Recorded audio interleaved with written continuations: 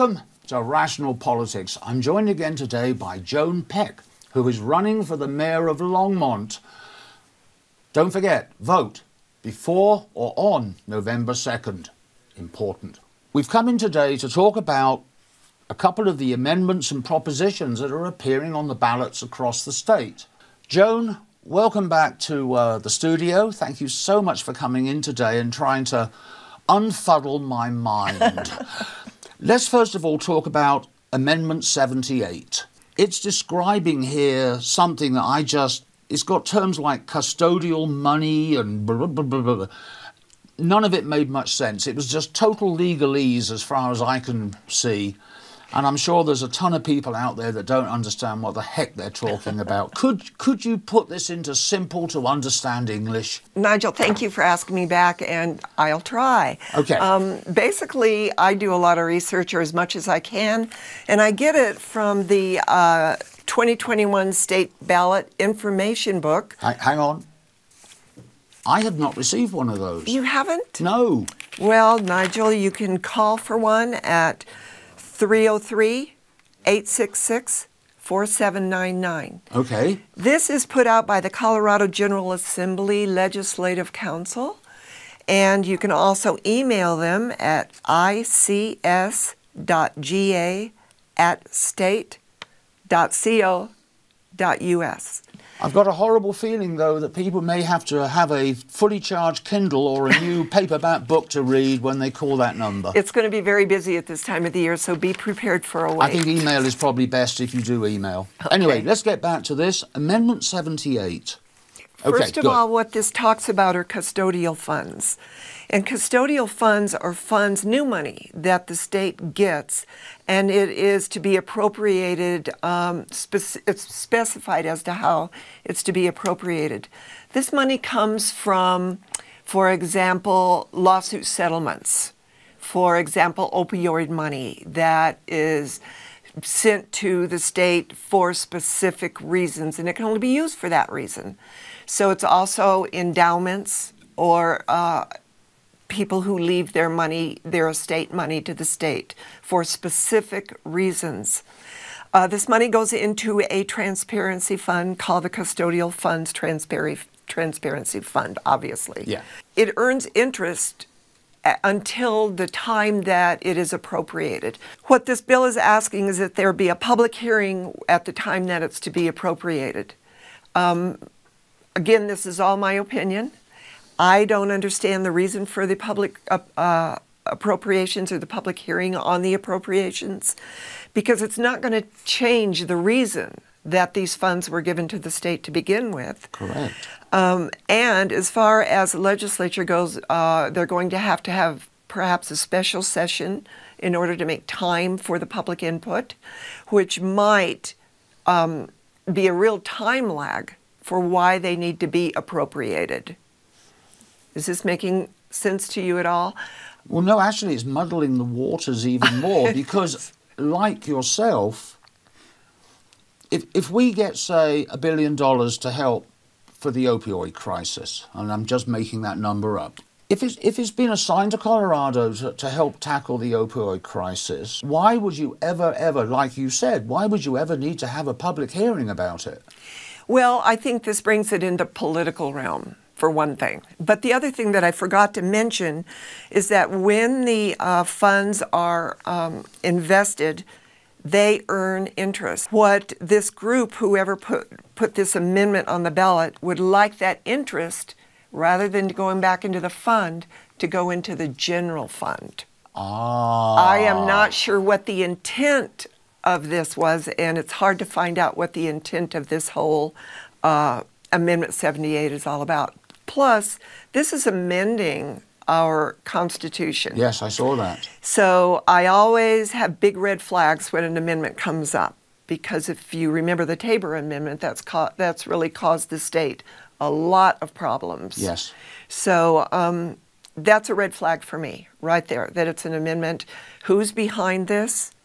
Why do they want the interest to go into the general fund? What is the reason they want it? What do they want it used for? And to have it in the public forum on the appropriations, to me, just screams politics. Yeah, it almost So- sounds as if what they want is the ability of saying, taking my one billion and actually reassigning some of that money to something else. which they- would be would the which would be the interest. But it also but would only, but only the interest. They couldn't actually take away from the one billion. no. But what they could do is stall it, stall where the appropriation should go and in what timeline they should go because. Holding special sessions in the summer is going to cost a lot of money Yeah. to get this on track for how it's to be appropriated. It just is a stalling tactic to me. Why? I don't know.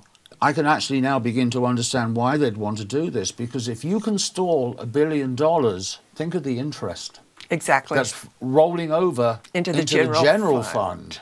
And that the unknowns on this is why I question it. I understand that totally. Let's now move on to Proposition 119. I know it's something that you're very interested in, it's something that I'm interested in, and that is uh, actually putting up the tax again on marijuana.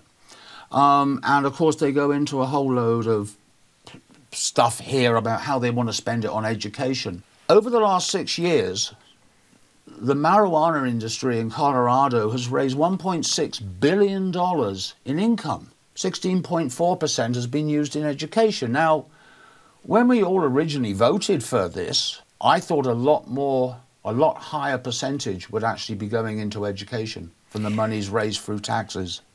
So that was Amendment 64 in 2012 that Right. we that we voted on that, um, but that was to go into capital construction assistance. Ah, So that a fund was created for that. So this money goes into the capital construction assistance.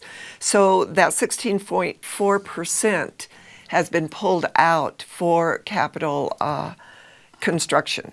I don't know, and I'm going to be upfront about this. I don't know where the rest of it is. Is it sitting in this fund? But this bill, the le- the Learning Enrichment and Academic Progress Program, this is a bill that wants to raise taxes on cannabis, um, retail sales tax, and they want to create a program outside of our state education system, outside of the school district, enhancement programs, tutoring uh, on any subject or whatever it is the student deems to be lacking in uh, to bring them up to their grade level. Um, my problem with this bill, this program seems to me, and this is just my opinion as I read through it, Yeah. to be somewhat of, of a quasi governmental agency. And the reason I say that is that there will be a board that will decide how these funds are going to be spent. It's not an elected, elected board like our school district is an elected board. This is an appointed board by whoever is running this program.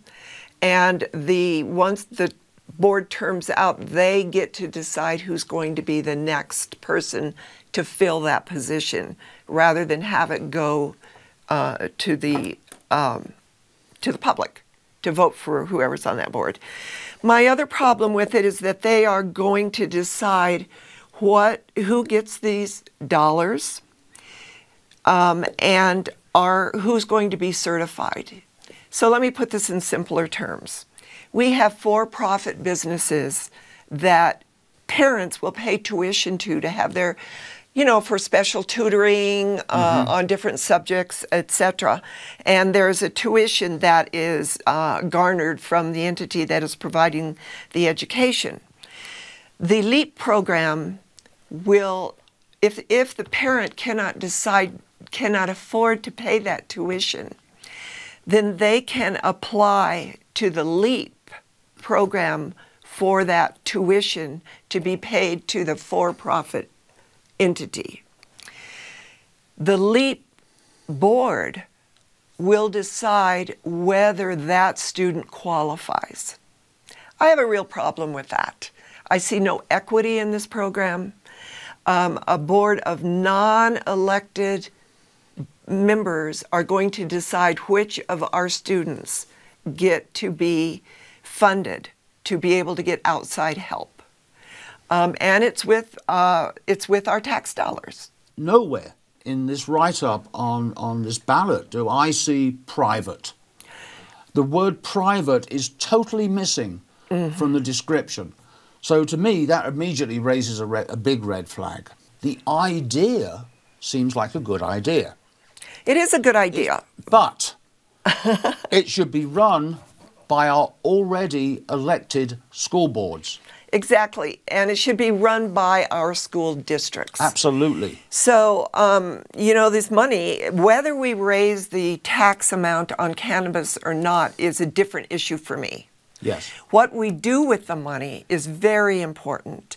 I personally think that this money could be used to give directly to the schools to enhance our programs, to hire teachers, uh, and make sure that they're all certified. The LEAP program does not make sure that the teachers are certified. It's private. I it's can go private. And, I can go and do it. I can go and teach exactly. if I want to. And they do not discriminate basically on who gets to apply for these fundings. Right. Um, it could be a religious school. It could be a group of home teachers that create an LLC and decide that they are going to apply for this money. Uh, we don't know if the tuition is going to be raised in order to get the difference from the LEAP program. Mm-hmm. Um, and the one thing that, that in this book, when they were describing it, that made me chuckle was that it said parents can save money on their child care. And I thought, what? Are you offering child care? And I think it's because of the after, before and after school child care that some parents need in order to get to work. So drop your kid off at the leap until you're done with work. Right. That's that yeah. is my but it was a very strange thing to put in this bill. If they're not careful with things like this, then let's forget all the real reasons why this is bad. Yeah. Okay? If you keep trying to milk marijuana for new taxes, even if this LEAP program was run by the state, if you push that price up too high, all that's going to happen is people are going to stop buying it and they're going to go black market again. You have got to be so careful, and they're right on the verge of that. Mm. It's cheaper for me to go and buy it illegally than it is to go to say Greenleaf. A lot, lot cheaper. But I like going to Greenleaf, okay, because I can trust their product. But if they keep pushing this up and up and up and make it so expensive, people are not going to buy it. Any other words you want to quickly say about uh, 119? I uh, really encourage people to read the bill, look, uh, educate yourself. Yeah. Find out what it is and decide whether you agree with it or you do not. Right. Proposition 120. This is an interesting one. This is a really interesting one. I don't think I've, it's funny because we've got 119 that, that wants to raise taxes and then you've got 120 that wants to lower them. Hello. What's going on here? Well, 120 is a proposition, and this got on the ballot because of signatures. You can, if you raise enough signatures uh, on a petition, then you, and they're verified by the Secretary of State as good signatures, then it can be put on the ballot. So this has been uh, put on the ballot basically by people. So rather than by legislative action or a uh, committee. So um, basically, what this does uh, is reassess property taxes, and some taxes that uh, this this uh, proposition would like to lower. Some taxes they would like to stay the same, and some they would like to raise. There are uh, many. I, I look at this in tiers. Actually, we have in our state a first of all, lower taxes on veterans who have um, experienced damage mm-hmm. by their service. And then we have the uh, seniors can get a discount on their property taxes. I, I do. Very good. I do. So, but the state on the on the I'm sorry on the city on the lowering of those taxes do not uh, do not get a loss the state backfills that so oh. that the ah. local municipality does not feel that loss in their property tax. What this bill will do, though, is allow certain people to have their subclasses of real and personal property taxes uh, located within the limits of the authority lay, levying, which would be the county on, on property tax. Um, what really frustrates me about this bill is that the the entity that is not going to be um, affected by these taxes or assessments is producing mines and lands or leaseholds producing oil and gas. So even though some property taxes are going to be raised, we are not going to touch the land leases for oil and gas mines and wells. Well, the mines wouldn't be from oil and gas, it would just be the wells. Yes. I don't understand that when we give over $3 million in tax reductions or taxes for uh, oil and gas now, why we would not be raising their taxes if we're going to be raising taxes on some of our local businesses. So um, That seems terribly unfair it does. and wrong, It is to me. morally wrong. So, uh, once again, I would uh, advise people to please read up on Proposition 120 and see if you agree or disagree with the way they uh, want to assess taxes. What might be a real hit to our local municipalities is that if our property taxes are lowered, that is going to affect our schools and because that's where we it's also we use a lot of that property tax just to run the cities. Yes. to for snow plowing for keeping the lights on. So what will that mean? How will municipalities try to get those taxes that revenue back? In what way will we have some creative ideas to get that money back into our general fund so that we can actually just run the city? So uh, there are a lot of questions about this I really recommend that you read this Proposition 120 and decide where you stand on it. It almost sounds to me, and I'm going to go out on a limb here, that we have uh, one Amendment 78, we have Proposition 119 and Proposition 120, and they're trying to pull the wool over our eyes again.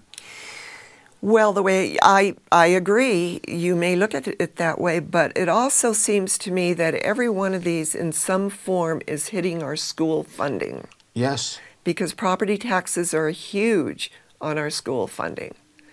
So with um, you know 78 trying to use taxes our tax dollars from marijuana to fund private entities to teach our children and then the school Yes. the property taxes being lowered to the point where where is the school district supposed to be getting these funds? That's right. From $1.6 billion, you'd have thought they could have found a little bit more than 16.4 to go into education.